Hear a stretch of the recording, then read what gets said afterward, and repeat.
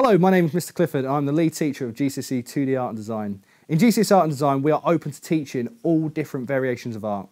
This includes painting in acrylic, watercolour, oil paint, monoprinting, linoprinting, sculpture, drawing, Photoshop, animation, photography, film, pen, pencil, chalk, charcoal, oil pastels, soft pastels, and much, much, much more.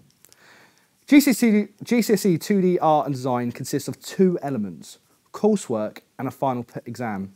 The coursework is worth 60% of your overall mark in GCSE and the final exam is only worth 40%.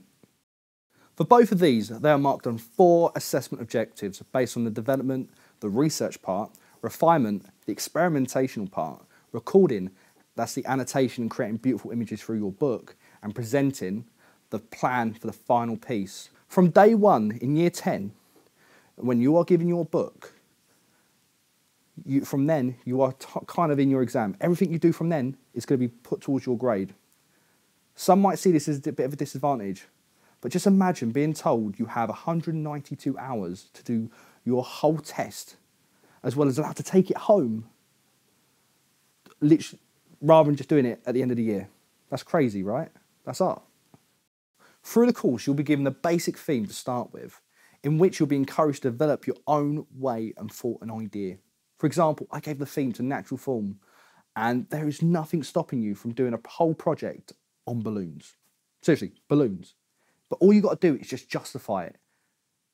Currently, we actually have a student doing a whole project on toys, which they get, but they got from the word conflict. And I tell you what, they are completely justified in doing so. At the end of year 11, you'll be asked to create a 10 hour exam final piece that will be spread over two days. That's, don't panic.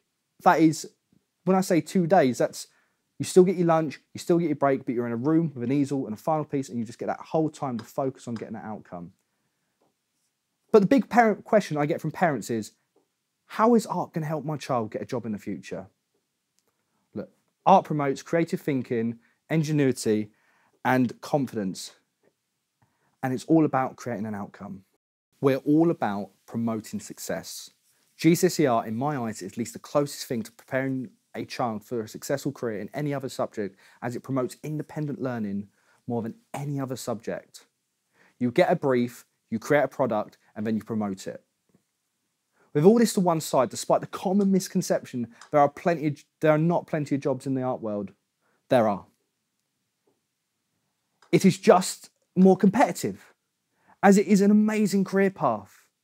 You've got artists, animators, architects, fashion designers, game designers, graphic designers, marketing experts, and any other job that promotes creativity, the jobs that people fight for. And if you are the top of your field, you can make a lot of money doing something you love. Honestly, if you do something that you love as a job, you never work a day in your life. Art is hard and it can be time consuming. But if you love what you do, you'll never notice until you look at how much amazing content you've created. But it's my job to help you through it.